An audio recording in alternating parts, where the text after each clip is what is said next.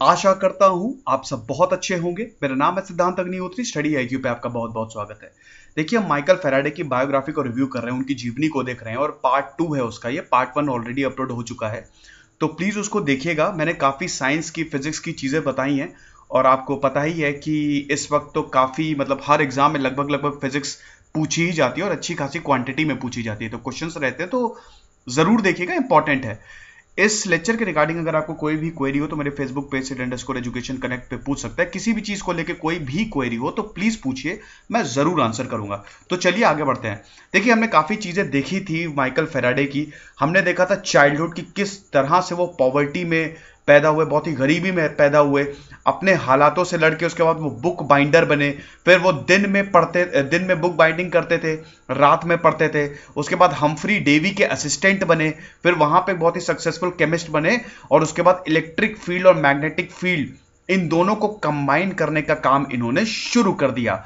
इन्होंने ये देखा था कि निडल डिफ्लेक्ट हो रही है, जब ये इलेक्ट्रिक करंट उसमें दे रहे हैं मतलब पूरा का पूरा एक्सपेरिमेंटल सेटअप था, जो ये इंडिकेट करता था कि मैग्नेटिक फ़ील्ड कहीं ना कहीं प्रेजेंट है भैया, तभी तो डिफ्लेक्शन होगा ना। फ़ील्ड मतलब फोर्स है ना? तो ये चीज़ है तो ये सारी चीज़ें हमने देखी थी। अब आगे देखते हैं। देखिए, जहाँ पे हमने खत्म किया था, मैंने आपको यह बताया था कि उनका एक विजन ये था कि इलेक्ट्रिक फ़ील्ड और मैग्नेटिक फ़ील्ड को कंबाइन कर दो। वो तो हो गया। उसके बाद उस चीज़ से ये देखो कि लाइट पे क्या इफ़ेक्ट पड़ता है और अगर लाइट मैग्नेटिक और इलेक्ट्रिक फ़ील्ड से डिविएट हो गई तो ये बहुत बड़ी उपलब्धि है, क्योंकि उसके बाद हम लाइट को अपने हिसाब से कंट्रोल कर पाएँगे। हम फ़ील्ड के हिसाब से लाइट को कंट्रोल कर पाएँगे और अगर एनर्जी को आपने कंट्रोल कर लिया तो भैया आप भगवान ही हैं लगभग लगभग। ठीक है? जो कि बाद में हमको रिलेशन भी मिला, ठीक है? तो ये उन्होंने पूरा का पूरा कुछ सोचना शुरू कर दिया। तो अब लाइट क्या होती है? लाइट तो एक पूरा का पूरा स्पेक्ट्रम होता है बैंड होता है, आपको पता ही होगा कि जो हमारा पूरा बैंड है, वो स्पेक्ट्रम है, वो वो दो में डिवाइडेड है अल्ट्रा वायलेट विजिबल और इंफ्रारेड ठीक है? हम यहाँ पे हैं, हम विजिबल रीजन में हैं। तो विजिबल ये अलग अलग फ्रीक्वेंसी और अलग अलग वेवलेंथ का एक स्पेक्ट्रम होता है। तो अल्ट्रावायलेट अलग अलग स्पेक्ट्रम है इंफ्रारेड अलग स्पेक्ट्रम है और विजिबल रीजन जो विबग्योर ठीक है, ये एक अलग स्पेक्ट्रम है। तो हम इसमें हैं, तभी तो हम चीज़ों को देख पाते हैं ना। ठीक है, इन जब, इन तीन इन सबको अब पूरी की पूरी इस विजिबल स्पेक्ट्रम को और इन कलर्स को VIBGYOR violet indigo blue yellow green orange और रेड इन तीनों को जब आप कंबाइन कर देते हैं, सातों को तो आपको व्हाइट लाइट मिलती है। ठीक है? जो कि हमको विजिबल है। मतलब ये पूरा का पूरा जितनी भी जगह है और जो फैली हुई है वो व्हाइट लाइट ही है अगर कुल मिला के देखें। ठीक है? तो उन, उनका ये विजन था कि किसी तरह लाइट को डिविएट किया जाए। अब भैया लाइट से एक बीम निकाल लो। ठीक है? लाइट से एक बीम निकाल लो जिसमें पार्टिकल जो बहुत ही लीनियरली अरेंज्ड होते हैं उसको कहते हैं पोलराइजेशन उस प्रोसेस को कहते हैं पोलराइजेशन ठीक है? जैसे चावल के जत्थे में से आपने एक चावल निकाल लिया। उसी तरह से लाइट के स्पेक्ट्रम में से एक बीम निकाल लो, ठीक है? पोलराइजेशन कैसे अटेंड किया जाता है? देखिए पोलराइजेशन बहुत इंपॉर्टेंट होता है। पोलराइड ग्लासेस आते हैं, ठीक है? अगर आप उन ग्लासेस को पहन लें तो जो रिफ्लेक्शन होता है सामने का, जैसे गाड़ी आपके सामने से आ रही है और बहुत ज़बरदस्त रिफ्लेक्शन पड़ता है आपकी आँखों से और दिखता नहीं है, वो चीज़ नहीं होगी। आप आराम से देख पाएँगे। तो पोलराइजेशन क्या करता है? एक लीनियरली पोलराइज लाइट बहुत ही ज़बरदस्त होती है, जिसमें वाइब्रेशन एक प्लेन में रिस्ट्रिक्ट होते हैं, ठीक है? तो उन्होंने कहा कि अब हम देखते हैं।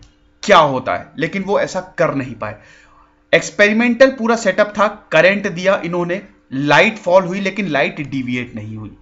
बड़ी प्रॉब्लम में आ गए उन्होंने कहा यदि मेरा एक्सपेरिमेंट तो पूरी की पूरी तरह फेल हो रहा है। बहुत परेशान थे। बार बार एक्सपेरिमेंट कर रहे थे, लेकिन ये फेलियर मिल रहा था। उसके बाद उन्होंने सोचा, हो सकता है मीडियम में कुछ गलती हो। माइकल फेराडे की बात कर रहा हूँ। उसके बाद उन्होंने सोचा कि हो सकता है मीडियम में गलती हो। मीडियम मतलब क्या है कि जैसे मैं बोल रहा हूँ तो एयर मीडियम है। आप बोलते हैं एयर मीडियम होता है वाटर मीडियम होता है। ठीक है अलग अलग मीडियम्स होते हैं तो हम क्या करते हैं? मीडियम बदलते हैं। तो उन्होंने अनगिनत केमिकल्स यूज़ किए, अनगिनत एसिड्स यूज़ किए, बहुत चीज़ें, हर एक चीज़ अलग अलग ग्लास यूज़ किए, लेकिन चीज़ें सही नहीं हो पाई। ठीक है, उनको सक्सेस नहीं मिली। तो गुस्से में उन्होंने क्या किया चिड़ में उन्होंने क्या किया, या मज़ाक में भी कह सकते हैं। याद है, मैंने आपको बताया था पिछले लेक्चर में कि हम्फ्री डेवी माइकल फेराडी की सक्सेस से काफ़ी ज़्यादा थोड़े से मतलब जलने लगे थे, ठीक है? तो एनबीएस हो गए थे, जिसकी वजह से हम्फ्री डेवी ने बोला कि एक काम करो, तुम ऑप्टिकल ग्लासेस को इंप्रूव करने में लग जाओ। तो जब Michael Faraday optical optical glasses को इंप्रूव कर रहे थे, अब उनको इस ब्रांच की कोई भी नॉलेज नहीं थी तो सात साल उन्होंने एक्सपेरिमेंट किया और उनको कोई भी कुछ भी सक्सेस नहीं मिली। तो एक उन्होंने ग्लास ब्रिक रख दी थी उस समय एज अ सोवेनियर कि ये मुझे मेरे फेलियर की याद दिलाता रहेगा। तो वो उन्होंने यूज़ की, ठीक है? उससे उन्होंने लाइट पास कराई और गेस वॉट लाइट डिविएट हो गई। ज़बरदस्त खुशी का पल था। इतने सालों के बाद, सालों की मेहनत के बाद जब सक्सेस मिलती है, तब तो कमाल ही हो जाता है। वो एक अलग ही स्वाद होता है, ठीक है? तो बहुत अच्छे से चीज़ों को हैंडल किया और फाइनली ये वो प्रूव ये प्रूव करने में सफल हो गए कि लाइट मैग्नेटिक फ़ील्ड से इफ़ेक्ट होती है। बहुत ही ही ज़बरदस्त रिलेशन है भैया। C is equal to E by B देखिए फिजिक्स में क्या होता है ना? It's all about energy and forces हम सिर्फ़ एनर्जी निकालते हैं फोर्स की हेल्प से। पूरी की पूरी फिजिक्स पे ही बेस्ड है। अब एनर्जी वो इलेक्ट्रिकल एनर्जी भी हो सकती है, वो लाइट एनर्जी भी हो सकती है। वो अब जिस भी ब्रांच की बात कर रहे हैं मैकेनिकल एनर्जी भी हो सकती है, ठीक है? वो होती है। जैसे जैसे अगर एग्ज़ाम्पल है तो जो इनकी फेराडे ने जो अपनी इलेक्ट्रिक डायनमो इन्वेंट की थी, वो क्या करती है? वो इलेक्ट्रिक एनर्जी को मैकेनिकल एनर्जी में कन्वर्ट करती है, जिसकी वजह से आज गाड़ियाँ चल रही हैं, जिसकी वजह से रॉकेट के बड़े बड़े स्पेस के बड़े बड़े एक्सपेडिशन हो रहे हैं बड़े बड़े मिशन अकम्प्लिश हो रहे हैं। एक बहुत ही बेसिक प्रिंसिपल माइकल फेराडे का फॉलो करती है, जिसको आगे टेस्ला ने उसको एक कदम आगे ले गए, फिर उसको आइंस्टीन ने परस्यू किया। तो ये बेसिस बेस बना गए हर एक चीज़ का, ठीक है? तो इस तरह का चीज़ें थी, ठीक है? अब क्या होता है कि फाइनली वो, ये मैं ऑलरेडी आपको बता ही चुका हूँ कि पूरा का पूरा इलेक्ट्रिक मोटर वो कंस्ट्रक्ट करते हैं और इलेक्ट्रिक डायनमो बनाते हैं। छोटा सा डायनमो होता है, देखिए प्रिंसिपल बनाते हैं इलेक्ट्रिक डायनमो नहीं बनाते हैं, वो इसकी नींव रख जाते हैं।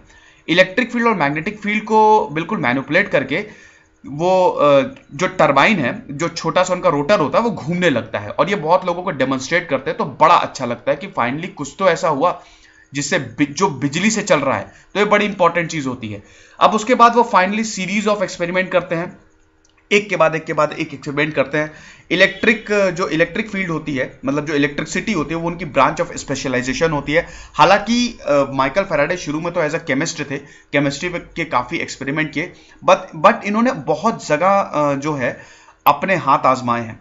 काफ़ी डाइवर्स फ़ील्ड में अपने हाथ आजमाए हैं। ऑप्टिक्स में खाली इनको बहुत ज़्यादा नॉलेज नहीं थी, लेकिन हर जगह, फिर वो चाहे हीट इलेक्ट्रॉन मतलब केमिस्ट्री में भी मतलब तो उसमें भी इन्होंने बहुत अच्छे अपने हाथ आजमाए थे। फेराडेज लॉ ऑफ़ इलेक्ट्रोलिसिस तो बहुत इंपॉर्टेंट है, बहुत ही ज़्यादा फ़ेमस है, ठीक है?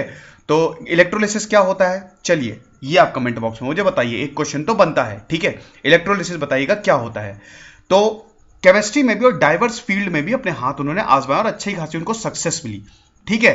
तो अब हम देखते हैं कि उनका आगे का जो उन्होंने लॉ दिया है, जो फेराडेज लॉ है बहुत फ़ेमस लॉ है, जिसकी वजह से भैया हमारे घर में बिजली आती है, वो क्या है? एक चीज़ और बताना चाहूँगा। साइंटिस्ट अक्सर डिप्रेशन के शिकार होते हैं। उनका ब्रेन इस तरह से डिज़ाइन होता है कि उनको अक्सर डिप्रेशन होता है। चाहे वो टेस्ला हो, चाहे वो माइकल फेराडे खुद ही क्यों ना हो, आखिरी में इनको डिप्रेशन हुआ। ठीक है? और मेमोरी लॉस भी होने लगे। इनका दिमाग बड़ा कॉम्प्लेक्स होता है। और एक चीज़ मैं और बताना चाहूँगा कि मैक्सिमम साइंटिस्ट ये बोलते हैं कि उनको कोई ना कोई गाइड करता है। कोई एक सुपर नेचुरल पावर होती है जो उनको गाइड करती है। आप चाहे इंटरव्यूज़ देख लीजिए चाहे उनकी ऑटोबायोग्राफी पढ़ लीजिए। टेस्ला तो यहाँ तक बोलते थे कि मेरी तो आउटर स्पेस वाले लोगों से बात होती है। उनको सब पागल समझने लगे थे। इवन हमारे मैथमेटिशियन राम रामानुजम वो ये बोलते थे कि जो भगवान है, जिस भगवान की पूजा करते थे नामागिरी, वो उनको गाइड करते हैं कि इक्वेशंस लिखो। बड़ी ज़बरदस्त चीज़ है ये। अगर आप इसको सोचें तो इसका मतलब ये है कि कुछ ना कुछ तो गड़बड़ है स्पेस में कोई है क्या लाइफ पता नहीं, वो तो आगे पता चलेगा, ठीक है? तो अब हम देखते हैं इलेक्ट्रोमैग्नेटिक इक्वेशंस ठीक है? फेराडे की इलेक्ट्रोमैग्नेटिक इक्वेशन देखते हैं, लेकिन इससे पहले मैं आपको ये बताना चाहूँगा कि फेराडेज लॉ क्या है, ठीक है? तो फेराडे लॉ क्या कहता है? जब भी फ्लक्स चेंज होता है, एक ईएमएफ e जनरेट होती है। मैग्नेटिक फ्लक्स क्या होता है? देखिए, मैग्नेटिक फ्लक्स को डिनोट करते हैं फाइ से, ठीक है? और फॉर्मूला होता है B integration D S integration calculus होता है, इंटीग्रेशन डिफ्रेंशिएशन, ठीक है? आप अपने कोई भी एक स्ट्रिप ले लीजिए, इसको इंटीग्रेट कर दीजिए तो पूरी की पूरी इसकी वैल्यू मिल जाती है। प्रॉपर लिमिट लेते हैं हम और बहुत ही बहुत ही ज़बरदस्त चीज़ होती है। मैक्सिमम टेक्निकल चीज़ों में ये काम आती है और पूरी की पूरी मैथ्स कैलकुलस से ही पूरी की पूरी फिजिक्स कैलकुलस से ही प्रूव की जाती है। ठीक है? तो इसको मैं बताता हूँ। देखो, ये तो इसका मैथमेटिकल इंटरप्रिटेशन होता है। डीएस जो होता है सरफेस एरिया मतलब किस एरिया को आप इंटीग्रेट कर रहे हैं। अगर आप अपनी टेबल को भी इंटीग्रेट कर रहे हैं तो उसका भी एक एरिया है तो वो उसका पूरा का पूरा एरिया हो गया। मैग्नेटिक फ़ील्ड लाइंस में ऑलरेडी आपको बता चुका हूँ। मैग्नेटिक मतलब कभी भी अगर मैग्नेटिक फ़ील्ड प्रोड्यूस होती है तो मैग्नेटिक फ़ील्ड लाइंस भी उसके साथ प्रोड्यूस होगी। वो तो ज़ाहिर सी बात है। इलेक्ट्रिक फ़ील्ड प्रोड्यूस होगी तो इलेक्ट्रिक फ़ील्ड लाइन प्रोड्यूस होगी। तो ये जो मैग्नेटिक फ्लक्स होता है, यानी कि मैग्नेटिक फ़ील्ड लाइंस अगर सरफेस के परपेंडिकुलर हैं 90 डिग्री गिर रही हैं 90 डिग्री पे फॉल हो रही हैं तो उसको कहता है मैग्नेटिक फ्लक्स अब आप इसको चेंज कर दीजिए तो आपको मिल जाएगा ईएमएफ e जिसको मोटे मोटे तौर पे इलेक्ट्रिक फ़ील्ड कहते हैं वोल्टेज कहते हैं। वैसे तो इसकी प्रॉपर डेफिनेशन होती है कि the potential difference between two terminals when the circuit is closed लेकिन खैर, इसको अगर समझाने बैठूँगा तो बहुत ज़्यादा मुझे फिर काम करना पड़ेगा और डीप में जाना पड़ेगा, ठीक है? तो सबसे इसका आसान मतलब ये है कि आपको बिजली मिल रही है। देखिए एनटीपीसी है, ठीक है? एनटीपीसी हमको बिजली मिलती कैसे? मैं आपको बताता हूँ। कोल को हम सिंथेसाइज करते हैं। बड़े बड़े पावर प्लांट्स में उसके बाद फिर हीट एनर्जी जो होती है, वो इलेक्ट्रिकल एनर्जी कन्वर्ट होकर पूरी की पूरी, वो उनका पूरा का पूरा सेटअप होता है। घर घर जाती है। तार बिछे होते हैं बड़े बड़े देखे ना भैया पावर प्लांट्स तार बड़े बड़े बिछे होते हैं। पोल्स में जाती है, खंभों में जाती है, उसके बाद वो पोल्स किससे कनेक्ट होते हैं? ट्रांसफॉर्मर से। ट्रांसफॉर्मर बहुत ज़बरदस्त चीज़ होती है। हमारे घर में क्या आती है? एसी की डीसी हमारे घर में अल्टरनेटिंग करंट आता है। तो ये जो अल्टरनेटिंग करंट होता है, ये इसकी बहुत ज़बरदस्त वोल्टेज होता है। हज़ार, दो हज़ार, तीन हज़ार वोल्ट इतना नहीं सह पाएगा। अगर इतनी ज़्यादा हम बिजली अपने घर में दे दें तो फूक जाएँगे हमारे जो कि अप्लायंसेस हैं। ठीक है? खत्म हो जाएँगे वो। क्योंकि हर एक अप्लायंस हर एक इंस्ट्रूमेंट की जो भी हम यूज़ कर रहे हैं, उसकी एक पर्टिकुलर लिमिट होती है। ठीक है? 100 वोल्ट की रेटिंग होती है, आपने देखा होगा, बल्ब में लिखा होगा 60 वोल्ट 80 वोल्ट, ज़्यादा दे देंगे तो वो बेकार हो जाएगा, वो खराब हो जाएगा, ठीक है? तो ट्रांसफार्मर क्या करता है? इंटेंसिटी को कम करता है, ठीक है? तो ट्रांसफार्मर का यही काम होता है कि कम से ज़्यादा बढ़ा और ज़्यादा से ज़्यादा, बहुत ज़्यादा हो जाए तो कम कर दो, यही ट्रांसफार्मर का काम होता है।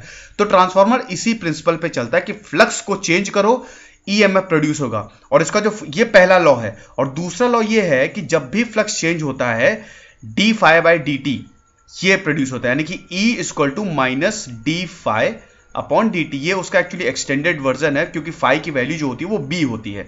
बी इंटू डी एस होती है। तो आप उसको भी लिख सकते हैं ऐसी कोई दिक्कत नहीं है वो एक्सपैंड करके। तो E equal to minus D phi by D T minus Lenz law के कारण होता है क्योंकि अपोज करता है आ, मतलब जिस चीज़ से वो प्रोड्यूस हुआ है उसको अपोज करता है। ठीक है? तो ये ये टोटल प्रिंसिपल है। ये दो फेराडे के बहुत इंपॉर्टेंट लॉ है जिसकी वजह से हमारे घर में बिजली आ रही है। कि भैया फ्लक्स चेंज करो तो वोल्टेज आएगा और वो जो वोल्टेज होगा क्यों आ रहा है? क्योंकि टाइम के साथ वेरिएशन हो रहा है आ, हमारे फ्लक्स का ठीक है? देखिए अगर किसी, किसी को भी टाइम से डिवाइड कर देते तो वो रेट हो जाता है ठीक है? तो ये चीज़ है। तो आई होप आप समझ गए होंगे मैं जो बताने की कोशिश कर रहा हूँ देखिए मैं बहुत सिंपल लैंग्वेज में बता रहा हूँ क्योंकि फिजिक्स है ठीक है? और फिजिक्स से वैसे ही बहुत दूर भागते हैं देख के ही लगता है अरे बाप रे क्या दे दिया ये? लेकिन ऐसा नहीं है बहुत ही आसान है समझने की कोशिश करेंगे तो हर चीज़ समझ में आ जाएगी। बहुत ही इंटरेस्टिंग ब्रांच है भैया, इसी की वजह से तो आप तक मैं लेक्चर पहुँचा पा रहा हूँ। बिल्कुल, ठीक है? तो ये सारी चीज़ें हैं। अब हम सीधा इलेक्ट्रोमैग्नेटिक इक्वेशन की बात करते हैं। देखिए, क्या हुआ था कि अभी मैंने बताया कि लाइट डिविएट हुई मैग्नेटिक फ़ील्ड से। प्रूफ दो लोगों ने कहा, ठीक है? साइंटिस्ट ने बोला, तुम पागल हो गए हो। प्रूफ दो मैथमेटिकल प्रूफ किधर है? वो तो ठीक है, चलो experimental I want mathematical proof where is this तब फेराडे को दुख हुआ। फेराडे ने कभी स्कूलिंग अटेंड नहीं की थी और यही प्रॉब्लम थी। मैथ्स उनकी बहुत अच्छी नहीं थी और प्रॉपर स्कूलिंग ना होने के कारण वो इन चीज़ों को प्रूव नहीं कर पाए। क्या था कि फेराडे जो थे, देखिए, फेराडे ने एक्सपेरिमेंट्स किए। वो एक्सपेरिमेंटल फिजिसिस्ट थे, ठीक है?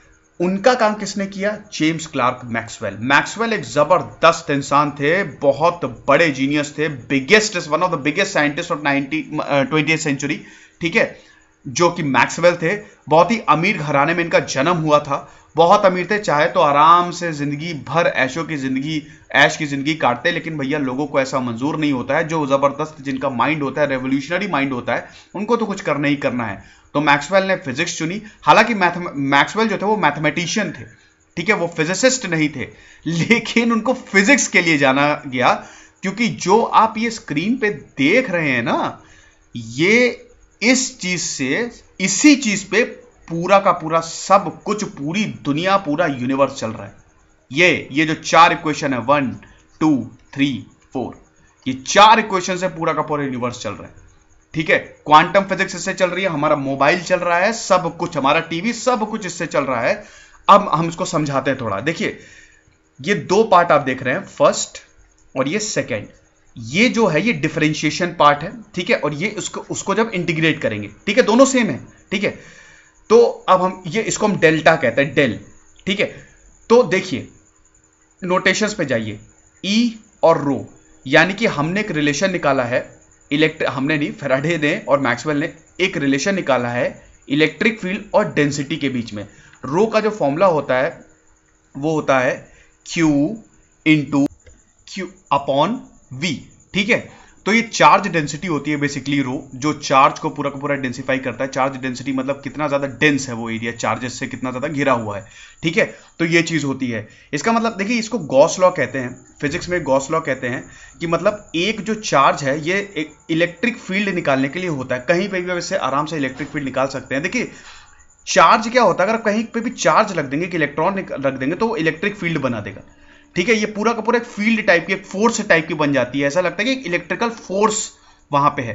तो उसको कहते हैं इस चीज़ को कहते हैं इस फेनोमेना को कहते हैं इलेक्ट्रिक फ़ील्ड ठीक है ये जो क्रिएट होती है चार्ज के आसपास ये हर चार्ज के साथ होता है। ठीक है तो अगर ये चार्ज किसी आ, कोई भी मान लीजिए सर्कल है उसको पूरा का पूरा क्या कर रहा है ये पूरा का पूरा अराउंड कर रहा है रिवॉल्व कर रहा है। ठीक है उस चीज़ को उस एरिया को अगर आप इंटीग्रेट कर देंगे तो वो आपको पूरी की पूरी इंटेंसिटी दे देगा इलेक्ट्रिक फ़ील्ड की।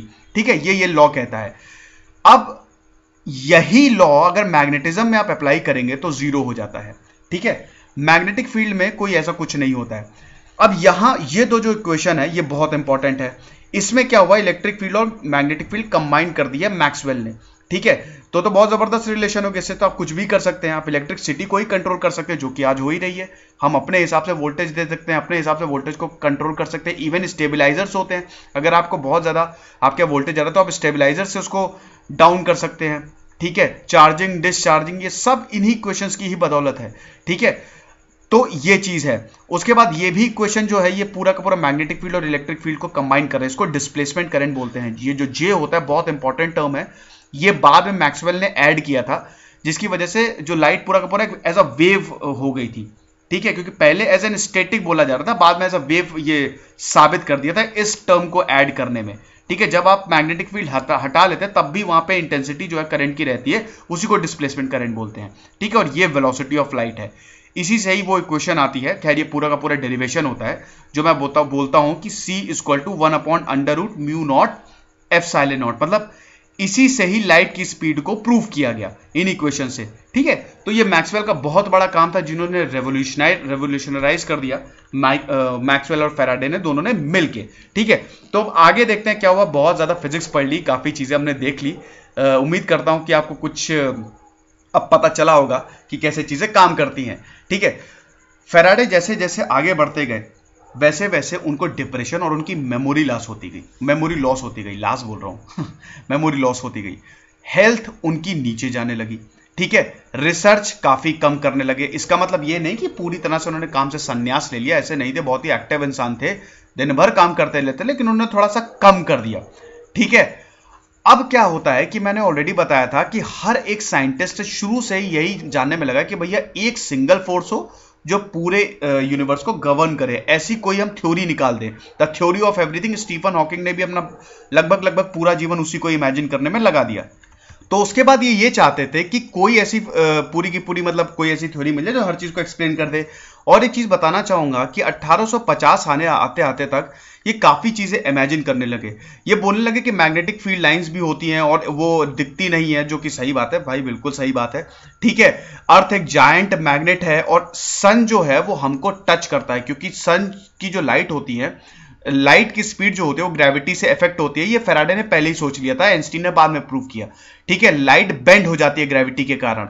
और अगर वो बेंड हो रही है तो उससे टाइम भी चेंज होगा। इसका मतलब किस, कहीं ना कहीं हम टाइम को कंट्रोल कर सकते हैं लाइट की स्पीड के थ्रू ठीक है? और लाइट की स्पीड कैसे वेरी करेगी? ग्रेविटी के थ्रू पूरा रिलेशन होता है। ठीक है? ये भी इन्होंने पूरा का पूरा सोच लिया था और एक्सरसाइज करने में लग गए थे फॉर्मुलेट लेकिन उनका हेल्थ ने बिल्कुल भी साथ नहीं दिया।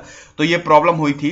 देखिए अर्थ का जायंट मैग्नेटिज्म क्या होता है कि बहुत सारी मैग्नेटिक फ़ील्ड लाइंस इसके पूरी तो ड्रॉ कर नहीं पाऊँगा मैं। आप देख लीजिएगा इंटरनेट पे बहुत अवेलेबल है, कि वो मैग्नेटिक फ़ील्ड लाइंस होती हैं। कोर रोटेट कर रहा है, जिसके वजह से मैग्नेटिक फ़ील्ड है। तभी जो होती है, जो चिड़िया होती है ना, उनमें इनर मैग्नेटिक कंपस फिट होता है। उनके दिमाग में ही मैग्नेटिक कंपस होता है, इसलिए आराम से वो माइग्रेट करती है। हज़ारों हज़ारों मील तक जाती है वो। क्यों? क्योंकि अर्थ की मैग्नेटिक फ़ील्ड है और उनका जो इनर सेंस है वो उसको आसानी से सेंस कर लेता है। तो इसको यूज़ करके वो कहीं पे भी ट्रैवल कर सकती हैं। ठीक है? 1855 तक फेराडे का जो माइंड था वो पूरी तरह से फेल हो गया। ठीक है? और बिल्कुल ही मतलब साठ आते आते एकदम वो कुछ सोच भी नहीं पाते और ये आमतौर पे होता है जो ब्रिलियंट माइंड्स होते हैं एक टाइम पे क्योंकि और कंट्रोल भी नहीं होता है। उस, उस पर ये एक तो ये होता है ना कि आप स्वामी विवेकानंद की तरह अपने माइंड को कंट्रोल कर लें। ठीक है? लेकिन ऐसा नहीं होता है। ठीक है, आप कंट्रोल भी नहीं कर सकते। तो फेराडे का माइंड धीमे धीमे फेल होने लगा। क्वीन विक्टोरिया ने बोला था कि भैया सबसे बड़ा अवार्ड होता है honour of a knighthood sir लग जाता है इसके आगे। ठीक है? कोई भी पर्सनैलिटी के आगे जिसको ये मिलता है। उन्होंने बोला कि आप ये अचीव करिए। आपने इतना ज़्यादा काम किया हमारे लिए। उन्होंने कहा कि नहीं, मुझे नहीं करना। मुझे आखिरी तक मिस्टर फराडे रहना है। हालाँकि उन्होंने कॉटेज एक्सेप्ट कर लिया था, जो उन्होंने दिया था। ठीक है? तो ये सारी चीज़ें थी। अब आगे देखते हैं। अब उनकी डेथ देखते हैं। देखिए फाइनली 1867 में उनकी डेथ होती है और हाई गेट सेमेट्री लंदन में उनको आ, क्या कहते हैं कि दफनाया जाता है। और छोटा सा एक स्टैचू बना हुआ है इनके ऑनर में सेवॉय प्लेस पे जो कि इंजीनियरिंग का इंस्टीट्यूशन है और टेक्नोलॉजी का इंस्टीट्यूशन है। ठीक है यहाँ पे देखिए वैसे तो इनको जितना इनको जितना ऑनर किया जाए उतना कम है। ठीक है इनको नोबेल प्राइज नहीं मिला है। और इंस्टीट्यूट ऑफ़ फिजिक्स ये इतने प्राइज मिले हुए हैं, हालाँकि इनको नोबेल प्राइज मिलना चाहिए था, मुझे अभी तक नहीं समझ में आ रहा है कि क्यों नहीं मिला। बहुत ग्रेटेस्ट साइंटिस्ट को, बहुत ग्रेट ग्रेट साइंटिस्ट को नहीं मिला है। ये तो बिल्कुल उससे मतलब सोच से बाहर है। जिस इंसान ने पूरी नींव रख दी, सब कुछ ज़बरदस्त तरीके से बदल दिया, उसी को नोबेल प्राइज़ नहीं। खैर, ठीक है, उस प्राइजेस वैसे भी डिफाइन नहीं करते किसी की इंटेलिजेंस को। तो जितने भी इनकी तारीफ़ की जाए, जितने भी इनको ऑनर दिया जाए, वो कम ही है। बहुत ज़्यादा इनको मिलना चाहिए। तो ये पूरी की पूरी कहानी थी। देखिए एक्सपेरिमेंट माइकल फेराडे के थ्रू आउट लाइफ रहे। दिन भर वो सोचते रहते थे, अपने आप को कमरे में एक टाइम पे बंद कर लिया था। इतना उठ नहीं पाते थे, तबीयत बहुत खराब थी। तो ये बड़ी दिक्कत थी, लेकिन उसके बावजूद वो हमेशा इमेजिन करते थे। और एक बात मैक्सवेल ने इनको गिफ्ट किया था। जब ये मैथमेटिकली प्रूव नहीं कर पा रहे थे तो मैक्सवेल ने पूरी इक्वेशन बनाई, जो मैंने आपको ऑलरेडी दिखा चुका हूँ। इनको एज ए गिफ्ट उनको दिया। तो माइकल फेराडे बड़ा खुश हुए और फाइनली वो पब्लिश हुई और तहलका मच गया फिजिक्स के दुनिया में।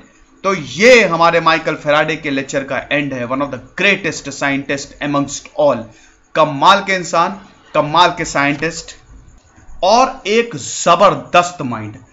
बहुत ही ज़बरदस्त इंसान थे। आशा करता हूँ आपको लेक्चर काफ़ी पसंद आया होगा। मैंने बहुत फिजिक्स समझाई है इसमें। क्या करें? क्योंकि इनका फ़ील्ड ही ही ऐसी थी। अगर मैं नहीं समझाता तो बायोग्राफी कंप्लीट कैसे होती? जितने भी साइंटिस्ट के लेक्चर्स में लेके आऊँगा, बायोग्राफी लेके आऊँगा, उसमें फिजिक्स या जो भी उनकी फ़ील्ड रिलेटेड है, वो तो होगी ही होगी। आप मान के चलिए। ठीक है? और वैसे भी फिजिक्स इंपॉर्टेंट है, समझिए उसको। एक चीज़ और बता दू। हमारे वेदों में ये सब ऑलरेडी लिखी हुई है।